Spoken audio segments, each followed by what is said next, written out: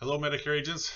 Jason Checketts here with Insurance Professionals of Arizona. Today I am going to show you a new tool available to us within United Healthcare's Jarvis system, um, and it's called the Medicare Product Portal. Uh, this is pretty cool. I think it's uh, worth for uh, worth everyone checking out. Uh, you can actually see in here now the 2024 plans. So I'm considering this the first look for United Healthcare. Um, now, the way I got there, just as a reminder, you just go into Jarvis, scroll down here until you see all your tiles here, and you'll see this one called Medicare Product Portal. Here's what it looks like. Um, I'm going to jump right into the tool part of it uh, itself, so just click right here on Plans.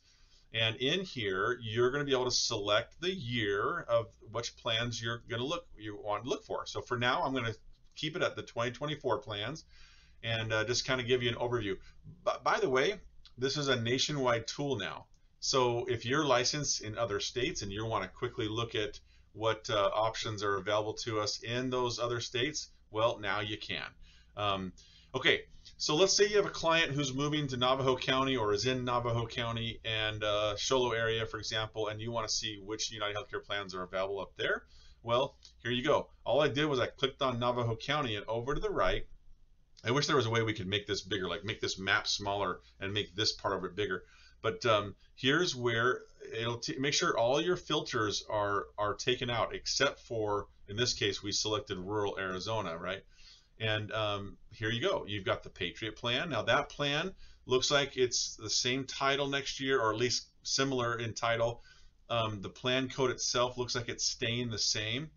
Um, but look at check this out. The two PPOs that we're so used to up in Navajo County or anywhere in northern or southern county in the rural areas, the names are changing and the plan codes are changing, folks. Okay.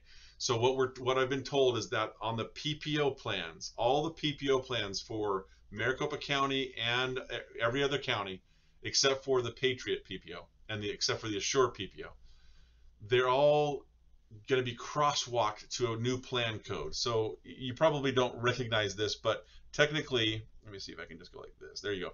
Here's the two plans. This right here is plan one. It's the one that has the monthly premium. Uh, it's going to be $39 next year. Um, you'll notice here that the title has changed and so has the plan code. Okay, same thing with down here. This title, this this was our plan two PPO, which is the zero premium plan, and the plan code has changed.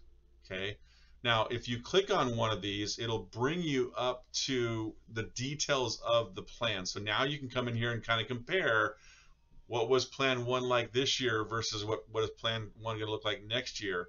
And one of the biggest differences, folks, is that there is now going to be a 50% coinsurance on dentures and bridges. Now, what I was told from Mark, I'm sorry, Matt at United Healthcare is that this is also going to include crowns. And so we're still kind of up in the air on this, but just realize this is going to be a, a change for our clients. Um, by the way, I just notice this. When I clicked on the plan, check it out. It tells me every county that this plan is available in. I like that. Pretty awesome. Okay, so be aware of some of these changes here. Let's go back. Let's look at Maricopa County real quick. Let's change this here to Maricopa County because we're now we're dealing with more plans. Here's 11 plans available in Maricopa County. Um, here's your Patriot plan. Oh, check this out.